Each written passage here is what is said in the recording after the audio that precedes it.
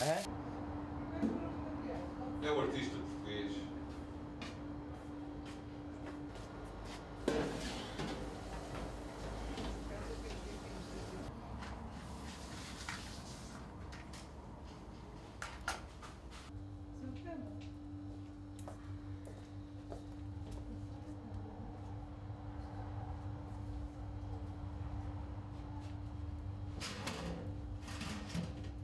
There are many restaurants closing.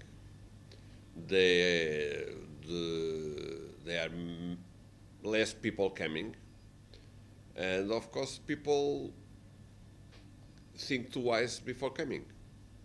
For time being, uh, I don't know tomorrow. Eu gosto imenso. Eu, Arroz de cabidela. eu eh, gosto e eu gosto por muito, e lhe apetecer. eh, But uh, Portugal's uh, had several crises like this many years ago. Even in uh, we have already once bankruptcy, and we survived. We had, this is the third time that the FMI came to Portugal, and we survived. And we are going to survive this one.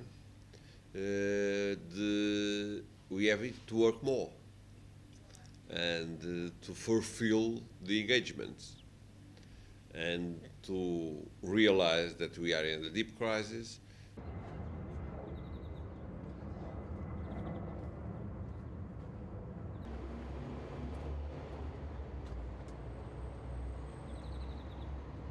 We uh, must prepare for the worst, but not be pessimist.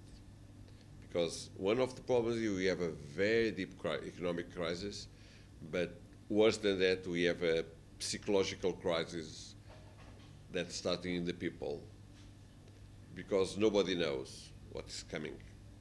And people start thinking what is going on.